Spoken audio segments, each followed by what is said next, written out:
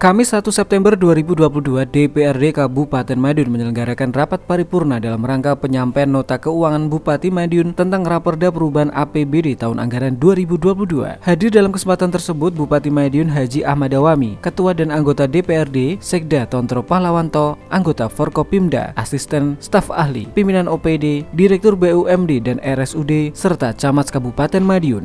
Nota keuangan rancangan perubahan APBD tahun anggaran 2022 merupakan gambaran secara umum umum kondisi kemampuan keuangan daerah, program kegiatan prioritas dan kebijakan dalam rancangan perubahan APBD tahun anggaran 2022 yang telah diselaraskan dengan perubahan KUA dan perubahan PPAS APBD Kabupaten Madiun tahun anggaran 2022 sesuai hasil kesepakatan antara pemerintah Kabupaten Madiun dengan Dewan Perwakilan Rakyat Daerah Kabupaten Madiun pada tanggal 12 Agustus 2022.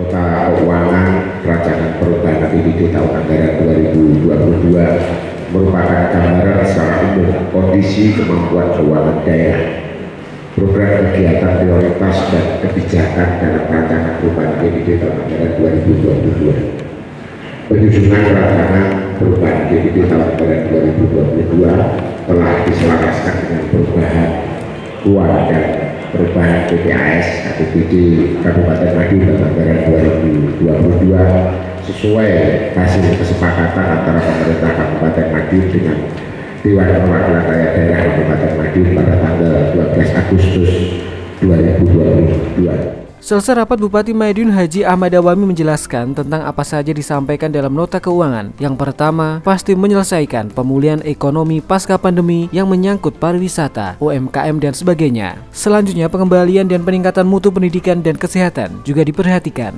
Adanya keadaan darurat yang terkait ternak seperti PMK dan terkait dengan penyikapan masalah pertanian. Yang pertama pasti menyelesaikan pemulihan ekonomi pasca pandemik ini menyangkut pariwisata, UMKM dan lain sebagainya.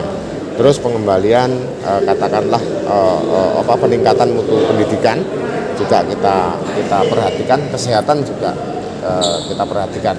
Terus kemudian eh, adanya keadaan darurat yang PMK. PMK itu terkait dengan ternak.